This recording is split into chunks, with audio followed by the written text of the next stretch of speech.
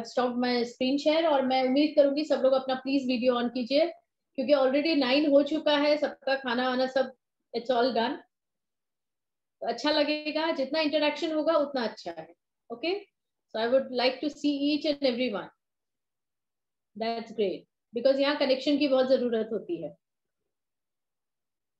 Okay okay.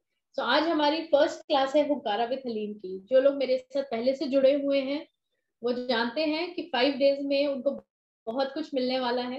हुकारा एक with haleem जो है वो एक सब्जेक्ट है। एक तरह से हम इसको कोर्स की तरह लेते हैं, लेकिन ये हीलिंग की एक मोडेलिटी है।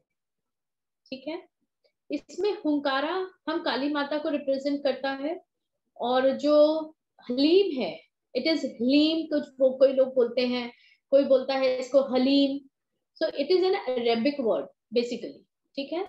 ये बगलामुखी माता को रिप्रेजेंट करता है। I hope this is clear तो जो लोग ये सोचते हैं कि लामा फेरा का ही आगे का लेवल है, वो एक तरह से सही भी है, क्योंकि ये कंप्लीट प्रोसेसेस हैं। इसमें और भी बहुत सारे प्रोसेस आते हैं। जैसे लामा फेरा का फ़र्स्ट एंड सेकेंड लेवल आप लोगों में से बहुत लोग कर चुके हैं।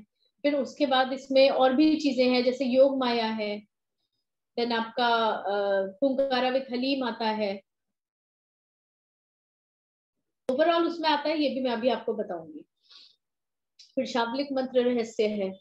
ये सब इनके जो कहना चाहिए फाउंडर है या ये जितनी भी मोडेलिटीज जिन्होंने बनाई है, वो एक ही इंसान है और वो है डॉक्टर एस के सैनी इसलिए इसको हम एक ओवरऑल कंप्लीट पैकेज जैसा समझते हैं। कि उनके द्वारा दी गई पद्धतियाँ, उनके सिखाई गई जो जितनी भी मोडेलिटीज हैं, हम उनको एक के बाद एक के बाद एक करते हैं तो उनमें जो शक्तियाँ हैं, जो उनके सिंबल्स में जो पावर उन्होंने दी है, वो अनमैच्ड है।